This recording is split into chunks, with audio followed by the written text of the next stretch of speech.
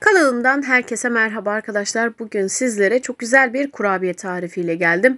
Muz kullanmadan bir paket muzlu pudingle çok güzel mis gibi muz kokan harika kurabiyeler yapacağız.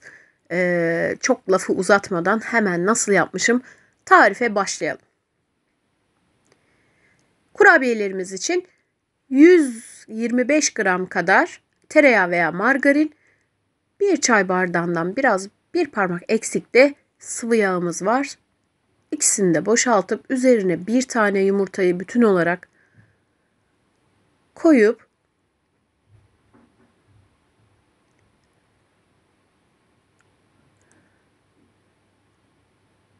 hepsi birbirine karışsın diye birazcık şöyle elimizle eziyoruz. Katı yağınız mutlaka oda ısısında olsun arkadaşlar.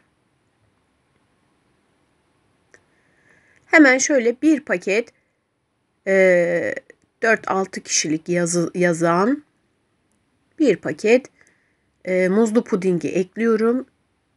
Üzerine bir paket kabartma tozu ekliyorum.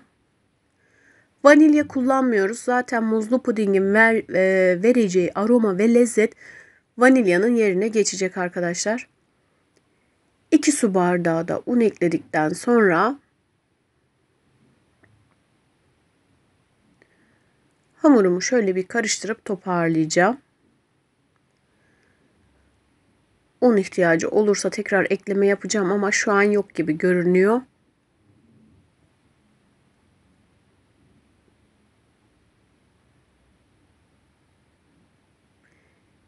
İlk etapta e, burayı biraz uzun tutmamın sebebi arkadaşlar ilk etapta bu şekilde kum gibi oluyor ama elinizle yoğurdukça hamur gayet cıvık bir şekilde toparlanacak. Merak etmeyin bakın bu şekilde. Tam bir kurabiye hamuru kıvamı, kulak memesi kıvamında şöyle basınca hemen dağılan yumuşacık bir hamur olacak. Ununu asla fazla kaçırmayın.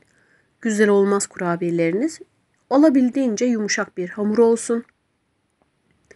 Şimdi küçük ceviz parçası, e, bir büyük ceviz büyüklüğünde parçalar koparıp yuvarlayıp Yağlı kağıt serdemiz fırın tepsisine diziyoruz. Eğer yağlı kağıdınız yoksa fırın tepsisinin tabanını yağlayabilirsiniz arkadaşlar. Yağlı kağıt illa şart olması gereken bir şey değil. Ee, bazen videoda çok konuştuğumu söylüyorsunuz. Ee, bu püf noktalarını tek tek anlatmak için bazen videolarımı uzun tutuyorum.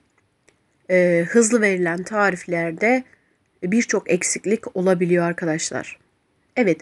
Bu malzemeden bir fırın tepsisi kurabiye çıkıyor. Hepsini şekillendirdik, dizdik. Şimdi 180 derecelik fırına gönderiyorum. E, hafifçe kenarları kızarınca fırından alacağım. 20-25 dakika gibi bir e, süre e, sürebilir. Fırından fırına göre değişir ama şimdi fırından çıkmış halini de göstereceğim ki sizler evinizde bu şekilde olunca zaten fırından alın diye. Altı hafifçe kızarmış. Bakın bu renkte. Kurabiyeler tamamen çok güzel bir şekilde pişmiş demektir. Hemen servis tabağıma alıyorum. Ee, yanına bir fincan kahve veya çayla çok güzel gidecek. Mis gibi aromalı harika bir kurabiye oldu. Dilerseniz üzerine pudra şekeri de serpebilirsiniz arkadaşlar. Ben malzemeyi artırmamak için serpmedim. Ee, gördüğünüz gibi e, son derece basit, son derece az malzemeli harika bir kurabiye oldu. Mutlaka deneyin diyorum ve hemen şöyle bir tanesini alıp dokusunu da göstermek istiyorum.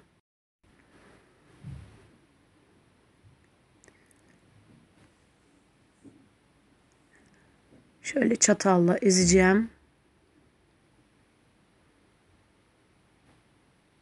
Bakın ağızda dağılan böyle kıyır kıyır bulgur gibi lezzet böyle ağızda bulgurumsu bir şekilde dağılan harika bir kurabiye oluyor. Gerçekten çok seveceğinizden eminim arkadaşlar. Umarım faydalı bir video olmuştur. Umarım tarifimi beğenmişsinizdir. Deneyecek olanlara şimdiden afiyet olsun diyorum. Bugünkü tarifimin de yine sonuna geldim. Yepyeni tariflerde tekrar görüşmek üzere. Sağlıkla kalın. Hoşçakalın. Ee, ilk izleyenler için kanalıma abone olmayı unutmayın diyorum.